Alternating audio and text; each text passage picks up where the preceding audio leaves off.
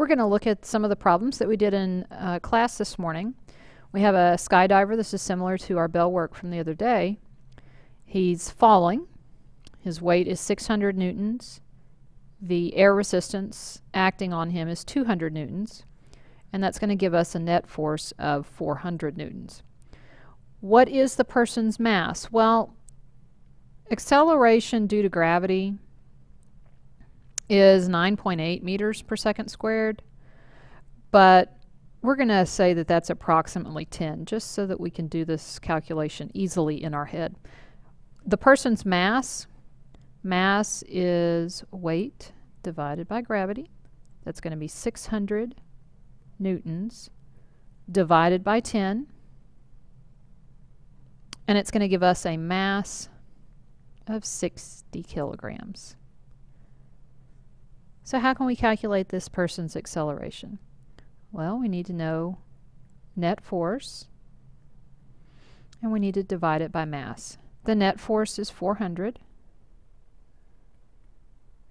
The mass is 60. And when you divide those out, you get 6 and 2 thirds, or 6.66 repeating.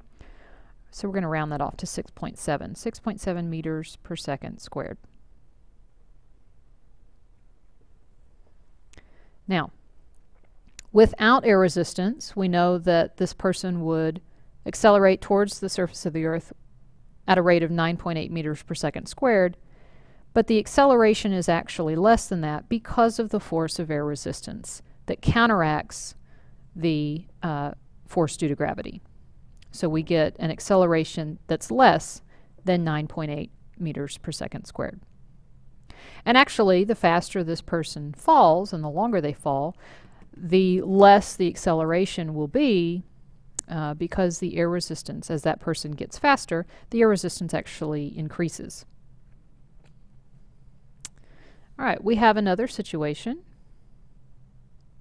Down here, I'm going to use a different color pen so that we can distinguish between the two problems.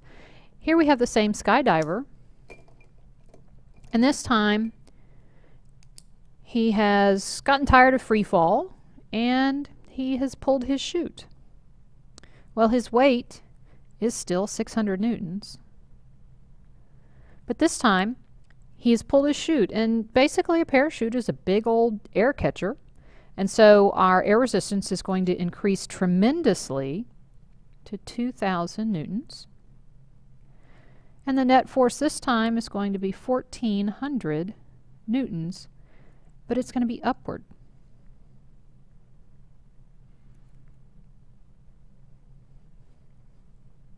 His mass is still the same. It's still the same guy, so 60 kilograms. We don't need to redo that calculation.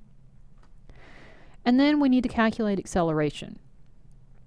Acceleration, again, is net force divided by mass.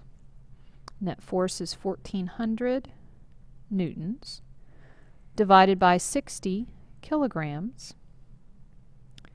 And if I trust the calculation of one of my students earlier, that should come out to 23.3 meters per second squared. Now which way is the net force? The net force is up. Which way is the acceleration? It's also up because things accelerate always in the direction of the net force.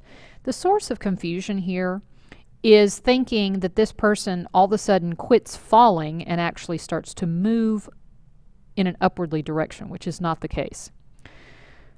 Um, here, before he pulls his parachute,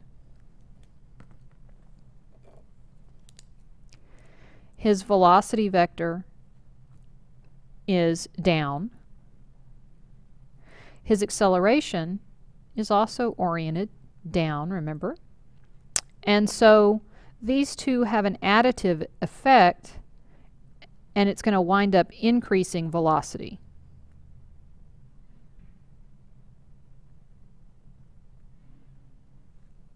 So he's going to fall faster and faster and faster as time goes by. Here, once he pulls his parachute, the situation is very different this person still has velocity oriented down, meaning he's still falling. But this time the acceleration acts in an upwardly direction. And so what that's going to wind up doing is decreasing his velocity. So the acceleration acting upward, you can just kind of think of, well, it's counteracting his motion. It's, it's working to slow him down. So his velocity when he pulls the parachute is actually going to decrease.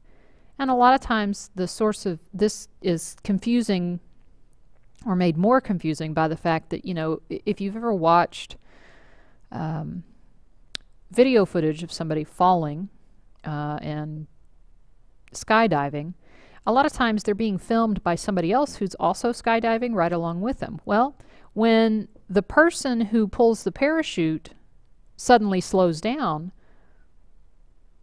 they're not keeping up. They're not in the same position with the person that's filming with the camera. So the the camera man still continues to fall. And from their perspective, and from the videotape perspective, it sort of looks like they all of a sudden go upward, but that's really kind of um,